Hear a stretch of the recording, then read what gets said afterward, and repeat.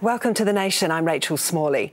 New rules to restrict low deposit mortgages came into force this week. It's estimated thousands of first home buyers will be locked out of the market by the Reserve Bank's new loan to value rules. So, what hope is there for home buyers on low incomes? Housing Minister Dr. Nick Smith joins me now from Nelson. Good morning, Minister. Thank you for joining us this morning. Uh, good morning, Rachel. I want to start with uh, a quote, actually, uh, something that you said on Q&A, actually, back in July, where you said that the government had made it plain to the Reserve Bank that you wanted to see an improvement in home ownership and try to take the bubble out of the Auckland market. By your own measure, Minister, you appear to have failed.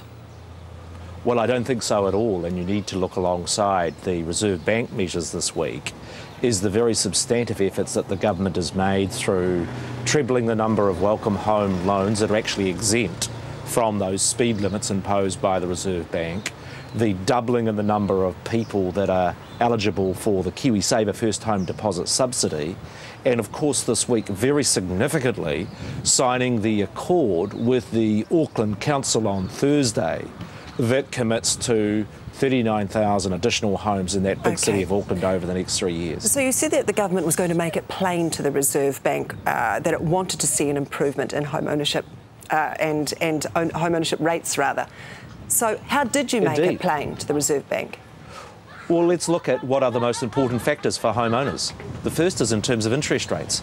If you want to kill off, and if you look at post-war New Zealand, the periods of which home ownership have gone backwards has been periods of very high interest rates. So we've been working with the Reserve Bank Governor to make sure that Kiwi families get access to low interest rates for as long as possible.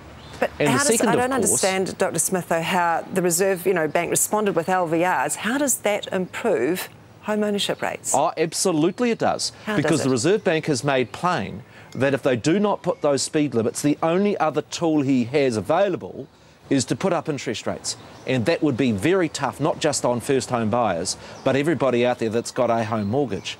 And the second factor is this what's making it so difficult for first home buyers is that sort of compound 15, 16% increase in house prices in markets like Auckland.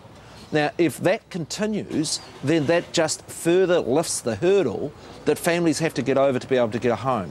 And so, what the Reserve Bank governor is doing is about financial stability. It's about avoiding the sort of economic mess that we see in countries like the US and Ireland from letting these bubbles get out of control. But it also, long term, is the right thing for homeowners. It, it, seems, though, that first time buyers haven't been protected in all of this. It's hard to see how first time buyers are going to get on the market through this.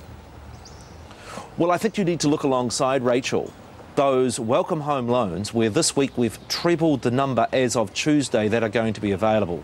That means that over the next three years, there are going to be 15,000 families that get access to one of those welcome home loans provided by Housing Corp. Second thing is that the real key to getting that stake in a home is getting the money for a deposit. Now, it is true that the Reserve Bank changes are going to set limits on the banks and require a bigger deposit. But with those changes to KiwiSaver, we're going to see 20,000 more people get access over the next three years to the sort of deposit they're going to need to get into their home. What now, happens, I'm one though? of a view that says, yes, we want families getting into a home, but we also want them to have a deposit so that they are not exposed in a way in which, frankly, hundreds of thousands of families were caught up in a country like America of their home mortgage be more than the value of their home, and that doesn't help but anybody. People are going to be exposed. Surely, if you look at the last quarterly monetary policy statement, if you look at Graham Wheeler's comments in the uh, Herald this week, the prediction is, is that interest rates will rise by 2% by the end of 2015. That's a remarkable oh, rise. That is there, there is going to be a rise in interest rates, and the issue for New Zealand, they're at the lowest level that they have been in 50 years. That's been great for people getting into a home. It's been good for business. And what the issue for the Reserve Bank governor, and we as a government are very clear that we need to respect the independence of that Reserve Bank. Sure, it just gives me the nervous nellies when I see opposition parties that want to stamp all over that independence. Now, that may be good politics, but I tell you, we have a huge amount of stake in terms of good financial stability and, and good monetary policy long term for our country. So the rates are going to rise. They go, you know, by my calculations, if those rates rise, say by two percent, which is what Graham Wheeler monetary policy statement predicts, then the average Auckland mortgage would go up by four hundred dollars a month. That will mean people will go to the wall. You're accepting though that those rates will rise. You'll let that happen? I think it is inevitable as the economy improves that those 50 year low mortgage interest rates uh, are going to rise. What we want to do as a government is to make sure that our fiscal policy and the way in which we are managing the economy keeps access for New Zealanders to low interest rates for as long as possible.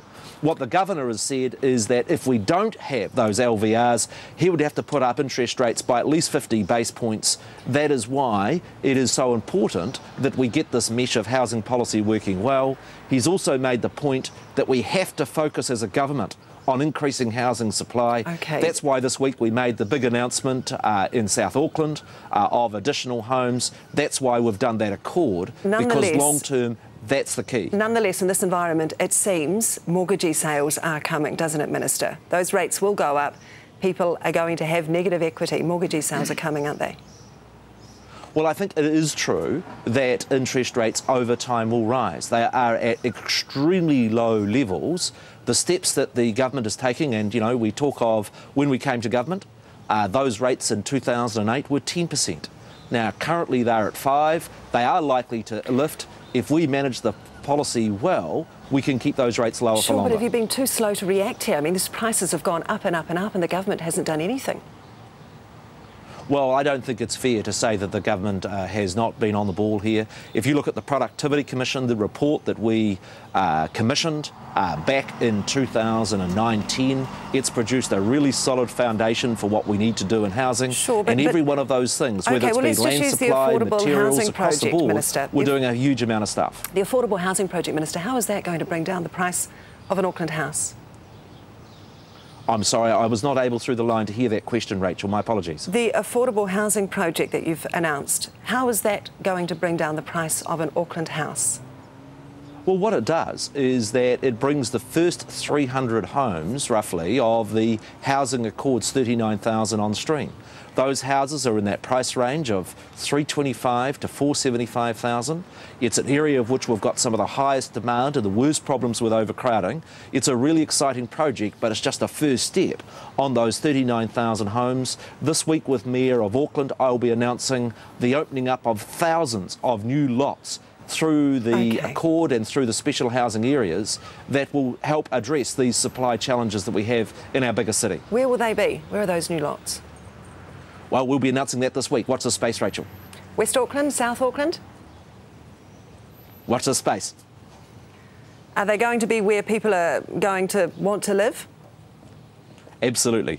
No, look, we're very focused with the Auckland Council on a balanced plan that will see those 39,000 houses. What we're looking to announce this week uh, is the very first special housing area was announced last Thursday. We've got the legislation passed. We've got the accord in place. Okay. We are moving with pace and momentum to get the new houses that Auckland and New Zealand needs. Just very quickly, Minister, you've got rapidly rising house prices. You have this inevitability of a 2% interest rate rise. Do you, do you accept that in this environment there's very real political risk to the government here heading into the next election?